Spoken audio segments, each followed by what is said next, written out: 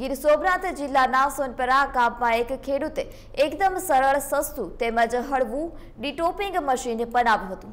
કપાસના ડિટોપિંગ માટે એક એકર કપાસના ડિટોપિંગ માટે ત્રણ વ્યક્તિ આખો દિવસ કામગીરી કરવી પડે છે, જેમાં વધુ શ્રમ, સમય અને પૈસાનો વ્યય થાય છે. ત્યારે સોનપરા ગામના વિકાસશીલ ખેડૂતે કપાસના ડીટોપિંગ માટે જે મશીન બનાવી છે તે મશીન વડે માત્ર એકથી બે કલાકમાં જ એક એકર જમીનના ઉભેલા કપાસનું ડીટોપિંગ માત્ર એક વ્યક્તિ કરી શકે છે.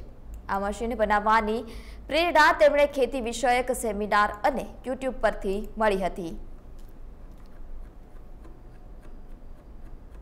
અમે કપાસમાં ડીટોપિંગ કરતા ઉપર સો ફૂટનો કપાસ થાય તો ઉત્પાદન પછી વધારે જેટલો ઊંચો થાય ને તો ઉત્પાદન ઘટે. કારણ કે એની ઝીંડવા ઉપર આવે. તો ઉત્પાદન હેઠેથી જે હોય તો એ ખરવાનું ચાલુ કરી દે. એટલે ઉપર કાપવું જ પડે. તો એટલે એના માટે અમે મજૂર રાખતા. તો મજૂર, મતલબ મજૂરી ખર્ચ વધતો.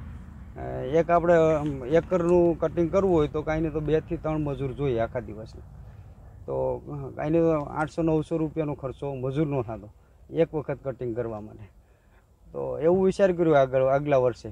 કે આનું મશીન બનાવીએ અને આ બેટરી આ પંપ છે તો ખર્ચા વગરનું થાય. પંપની પાછળ જોડી દઈએ. તો આગલા વર્ષે મેં એક મશીન બનાવ્યું.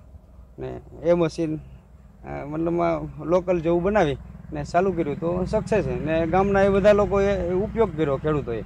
તો સારું એવું રિઝલ્ટ આવ્યું.